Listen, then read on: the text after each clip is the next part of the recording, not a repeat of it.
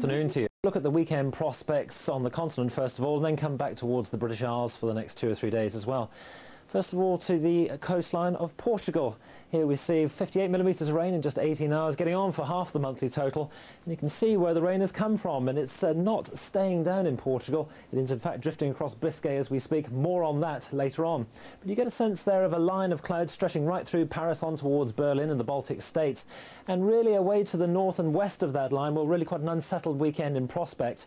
And as you drift a little bit further towards the south and east, then a better chance, I think, of some sunshine in the eastern Mediterranean, where characteristically spring has already sprung. And over the next few weeks, you'll see that uh, bright weather eventually moving right along the Mediterranean and eventually into Iberia, hopefully giving a slightly brighter prospect than that.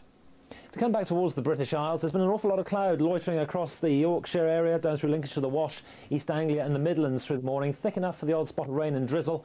And much of that has come from the tail end of an old front, that now gradually showing signs of pulling away. But I think across much of England and Wales there will be some showers around this afternoon, one or two of them really quite heavy. Further north they're turning really quite wintry, certainly across the northern and eastern coastal fringes, where the onshore breeze will keep things pretty chilly. If you can tuck yourself away though, around about 10 or 11 degrees.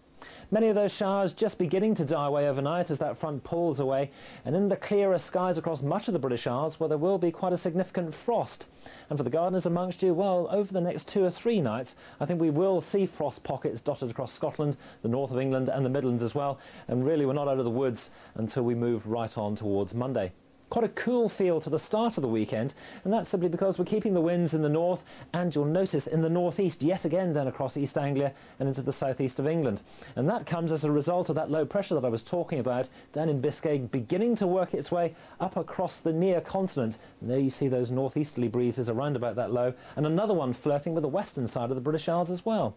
So to start off the weekend, cloud and rain to the north and west, cloud and rain to the south and east. Really quite a miserable start down there. But in between, after a frosty start, well, some decent sunshine, and then the showers just beginning to bubble up as we move on through the weekend. Temperatures are disappointing 7 degrees down in London.